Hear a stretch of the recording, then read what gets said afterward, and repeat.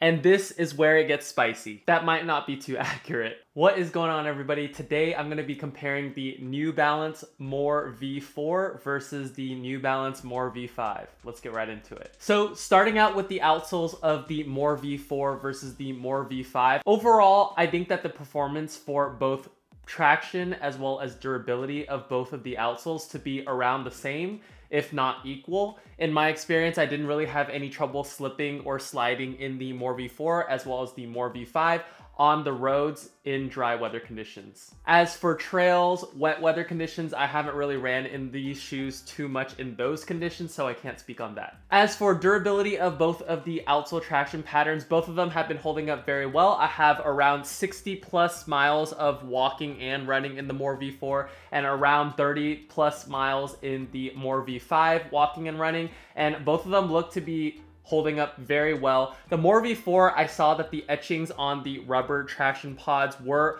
wearing down just a touch, but then again, I do have more mileage on the More V4, whereas the More V5, those etchings are still in place. So overall, the durability seems very good to me for the outsole point of view. Now let's move on to cushioning, which is what these shoes are known for. So starting out with the More V4, we have a full length Fresh Foam X foam, as well as the More V5, we also have a full length Fresh Foam X foam. And this is where it gets spicy. So I'm not 100% sure what the stack height is on the More V5. On Fleet Feet's website, it says a 44 millimeter stack in the heel, dropping to a 40 millimeter stack in the forefoot. But I just have a hard time believing it. Whereas the More V4 is well documented as a 34 millimeter stack height in the heel, dropping to a 30 millimeter stack height in the forefoot. So that gives both of these shoes a 4 millimeter heel to toe drop. But I do have a little bit of trouble trusting that the More V5 has 10 millimeters of stack height more than the More V4. So I would say that that might not be too accurate. So how did these foams perform and how did they feel? So the More V4 was a very comfortable shoe in my opinion.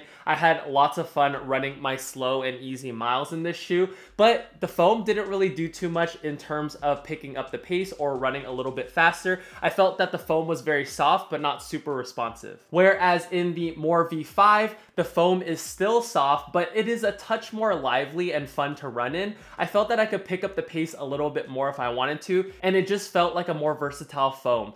I'm not gonna say that you can run super, super fast in these or wear these on race day and break a PR, but I think it's a little bit more versatile than the More V4's Fresh Foam X foam. I also do want to note that the Fresh Foam X on the New Balance More V5 just feels a little bit more cushioned underfoot. Now that could be due to the mileage that I put on the shoe. I have twice the amount of miles in the More V4 than the More V5, but overall, from what I remember stepping in first time in the More V4 versus the More V5, the More V5 just felt so much better in my opinion. So cushioning is gonna have to go to the More V5 for its versatility as well as just the underfoot feel in the More V5 is better. Moving on to the uppers of both of the shoes, they both have a mesh upper. However, there has been some changes. So the More V4's upper was pretty good. In my opinion, it also felt true to size, but the tongue is not gusseted and actually it did make a difference when I was wearing the shoe. I felt a little bit of uncomfort in the midfoot where the tongue and the mesh upper meet,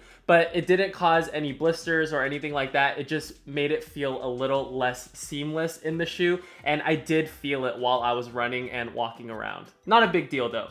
As for the heel slippage or heel lockdown as well as the rest of the upper, it performed very fine. Uh, ven ventilation on the More V4 wasn't anything special, and heel lockdown also wasn't anything special, but this shoe did run true to size and it definitely got the job done. My mini complaint would just be that the tongue just didn't blend super well with the upper, at least for my foot, so that's something to keep in mind. Whereas the More V5, I would say, has a little bit more of a snug fit it still runs true to size, but it is a good type of snug where it feels like it's hugging your foot and it just fit my foot super nicely.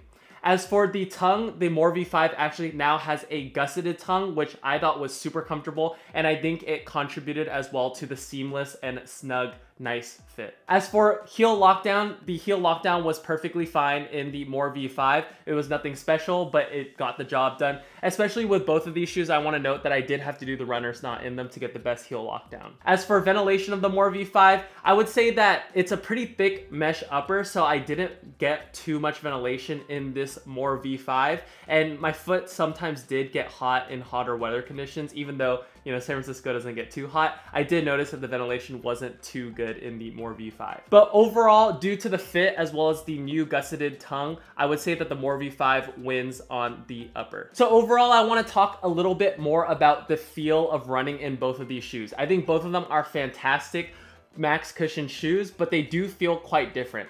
The More V4, in my opinion, feels a little bit more clunky and a little bit wider of a base. I do have a wide foot, so I did enjoy that. But due to the foam lacking a little bit of responsiveness, I felt that this shoe was best utilized for a lot of slow and easier miles. Whereas the More V5, as I talked about in the cushioning section, it just has a little bit more lively feel underfoot. And I do feel that I can pick up the pace just a touch and run a little bit faster than I can in the More V4. The More V5 is still a chunky monkey and it is not gonna feel super nimble on your foot but I do think that it does feel a little bit more nimble than the More V4. So overall feel, I think the More V5 just fits my running form as well as just my needs a little bit better than the More V4. So overall, which one is better, the More V4 versus the More V5? For me personally, it's the More V5, but with this information and with the comparison between the two, you guys can be the judge, especially with the price difference now. The New Balance More V4 has gone as low as around $75, I believe. 75 to $100, you should be able to find these. So I think that is a phenomenal deal if you're looking for a max cushion shoe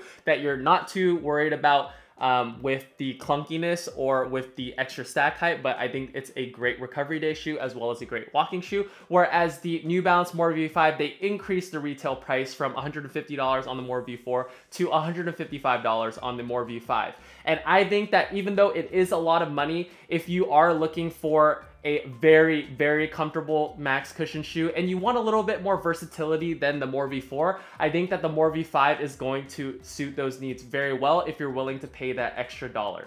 And that's gonna wrap up my comparison between the two shoes. Again, I really did enjoy running in both of these shoes. I will continue wearing them as well as walking in them. I think these are the perfect shoes if you're standing for long hours as well as if you wanna walk a lot or if you want those long, easy, slow miles. Both of these shoes are gonna take care of you just fine. I just felt that the More V5 felt a little bit more versatile and suited my needs a little bit better, but that is up to you guys to decide whether you guys want to pick up the More V4 or the More V5. So that's going to pretty much wrap up my comparison video. Thank you guys so much for watching. Make sure you hit the like button, subscribe, and also stay tuned for future shoe reviews, running vlogs, all that good stuff. So I'll see you guys in the next one. Peace.